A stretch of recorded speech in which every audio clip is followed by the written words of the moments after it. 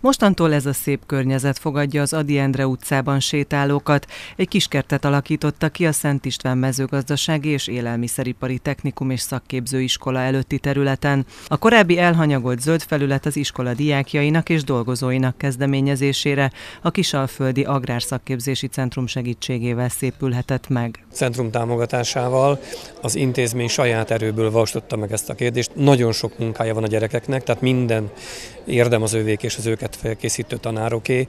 Azt gondolom, hogy belső kezdeményezés volt, nem külső nyomásra.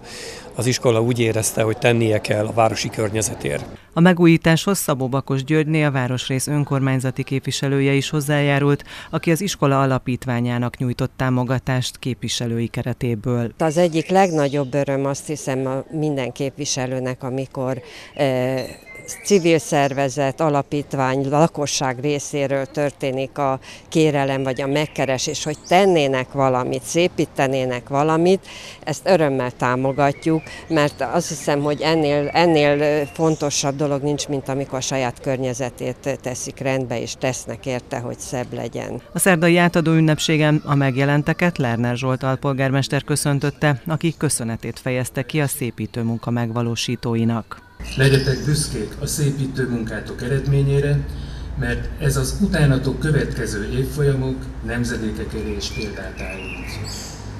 Köszönöm az igazgatóhölgynek, lelkes pedagógusoknak és kifejezetten a diákoknak, hogy az iskola hírnevéhez méltó és a város zöldítési programjához csatlakozva megálmodták és megvalósították ezt a szép zöld szigetet városunk közösségének nagy örömére. Az idén 85. tanévet záró iskola tervei között szerepel az intézmény homlokzatának megújítása is, hogy a jubileumot méltó körülmények között ünnepelhessék majd.